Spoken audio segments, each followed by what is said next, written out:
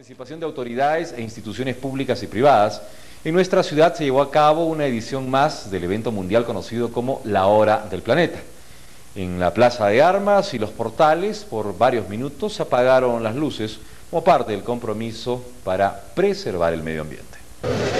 Cada 19 de marzo se ha convertido para el mundo en una fecha muy importante.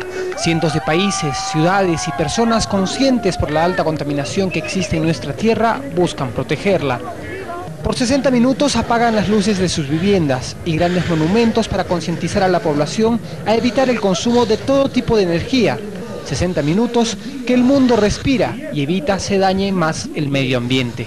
Lo que se espera actualmente en el 2016 es que este evento tenga mucha más, mucha más acogida por la población arequipeña y sobre todo por los jóvenes, ¿no? así como yo, que estén más involucrados en el tema medioambiental. Y la hora del planeta, que solo es un evento simbólico, realmente lo verdadero y lo más importante es que tengamos un compromiso social. En Sydney se hizo un estudio de que más o menos del 2% al 10% de energía se ahogaba.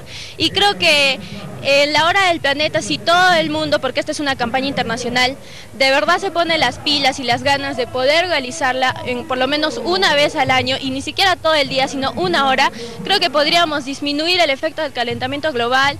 Sin embargo, esta gran alternativa de protección aún no ha calado hondo en la población y sobre todo en las autoridades.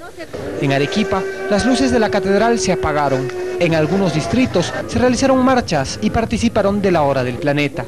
Pero también llamarle la atención a las autoridades de otros distritos, por ejemplo en Socabaya, Mariano Melgar, que son distritos que no llega este evento y que ni siquiera lo toman en cuenta. Y creo que podrían dar un poco del presupuesto para realizar gestión ambiental, ¿no? Con escenas de teatro, narraban a la población el daño que sufre nuestra tierra. Sin embargo, durante los 60 minutos que debíamos proteger nuestro planeta, muchos no participaron. Empresas, restaurantes y las calles se mostraban iluminadas. Una llamada de atención también, por ejemplo, a la presidenta regional, que ella sobre todo es joven y no, no está participando en esto, ni siquiera, ni siquiera se ha aparecido por acá, entonces...